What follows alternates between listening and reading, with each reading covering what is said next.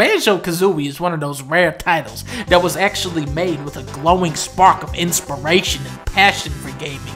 It's not one of these soulless, droning cash grabs. It's an illustrious, unforgettable experience. These games are older than dinosaur dirt, and yet people still fondly remember Banjo. Even if you never played the games, you know about him. It's a bear wearing a backpack that he jammed a little bird into. Who comes up with this? It's amazing. You're dropped right into a cheery, colorful world bursting with characters and liveliness. There's hundreds of things to collect and discover. You start humming along to that classic music and boom, you've been playing for five hours and it just went by like that. The game is fun as hell because it offers up a lot of simple pleasures like the little Jinjos. You walk into them and it goes, it's just so immediate and satisfying. You aren't driving around some barren wasteland looking for what you gotta do or building some stupid car for six hours. My car is finally ready.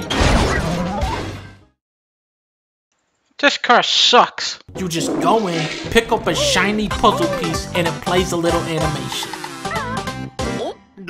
I love that. It's such a straightforward concept that game studios have tried again and again and again to replicate, but Banjo stands at the top because it is a simple game, but it's deceptively simple. There's an extra level of care and effort and polish that's very apparent in the nuanced level designs. They feel expansive, but they aren't so big that you'll get lost or spend forever just getting to where you need to go. The trend in gaming is make the maps bigger, make it bigger, and you end up with these big empty worlds with nothing in them. They're visually impressive, but they don't service the gameplay, they just hamper it. In Banjo Kazooie, nothing is taken for granted. It's complete and cohesive. Everything serves a purpose. The bear and bird are named after instruments, so you collect music notes. You get honey because he's a bear. A banjo, it's kind of a goofy instrument. Likewise, Banjo just accepts this childlike world where you fight onions with eyeballs. He's just like, yeah, man, this is real life. A kazoo, on the other hand, just makes this obnoxious sound, and that's the character.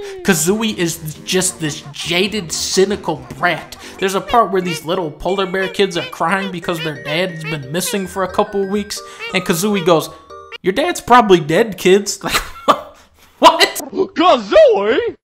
The soundtrack does this amazing thing where it transforms depending on where you are in the level. Say you're outside, the music is all upbeat and catchy, then you go into the cave and it turns into this echoey, just mysterious mix of the song. And you go underwater, it sounds like your speakers have been submerged.